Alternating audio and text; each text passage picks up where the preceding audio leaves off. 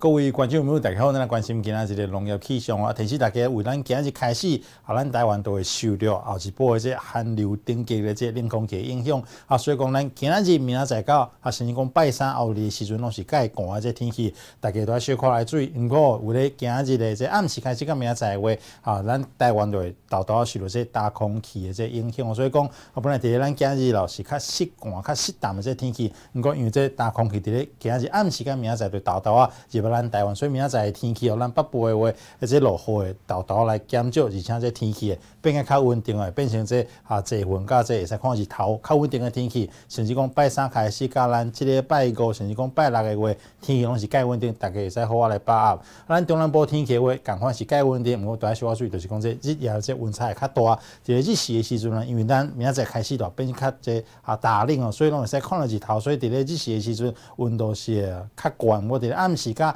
啊。诶，过暝诶，这透早诶话，因为有这辐射冷却诶，这影响，所以讲温度更要介紧。而且咱即边这冷空气影响诶，这期间哦，上寒诶时间就是咧拜二甲拜三诶，这透早啊，所以提醒大家特别注意，就是讲这两个时间，大家要特别哦啊，特别注意这个保暖，还有我们的这个啊农渔业都要特别的来当心。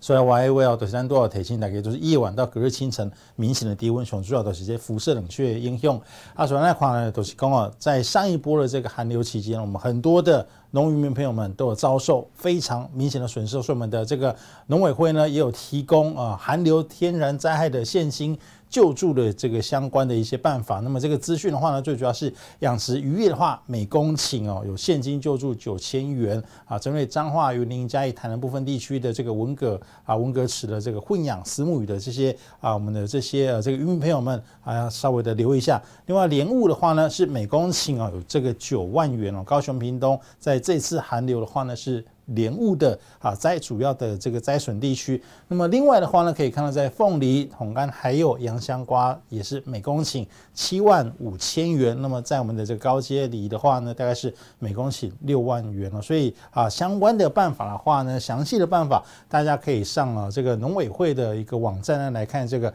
啊这个寒害灾损补助的资讯哦，可以搜寻一下啊，就可以知道比较详细的办法。那么也提醒大家啊，不要呃这个呃错过这个资讯。哦，来看一下在天气的部分呢，这些天气的部分，咱今日明仔载个啊，拜三的时阵，咱台湾拢是受着寒流冷空气的影响，不毋过会使看到咧明仔载的时阵啊，即咱台湾附近的水气都豆豆咧减弱啊，啊，毋过咱台湾刚刚是受着这寒流顶级的这冷空气的影响，刚刚是介寒的天气啊，都要小看注意。到拜三的时阵啊，拜三的上半天刚刚是受冷空气影响。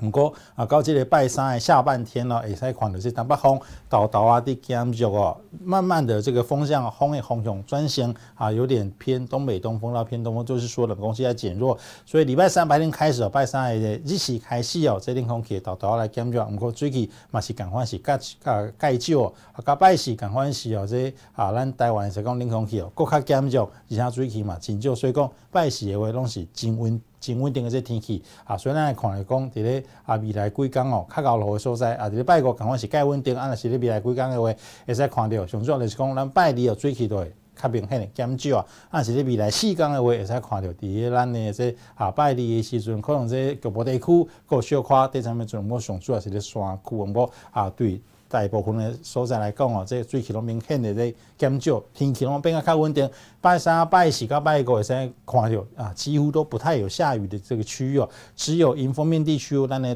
东北部个咱东部地区云量可能小可较济。那是讲落雨会上济嘛，是这蒙蒙啊好，或是这个小雨哦啊，而且会较集中在山区，所以啊，未来几天这个天气会越来越稳定。但是低温的话，寒流冷空气的话，礼拜三清晨之前都还是受到这波冷空气的影响，甚至。礼拜四清晨啊，拜喜也套在，因为辐射冷却影响，赶快去盖广盖量啊，预估低温仍然大约在只有十一十二度，好，所以大家还是要特别注意。以上都是咱今日的农业气象，咱明仔载这个再会。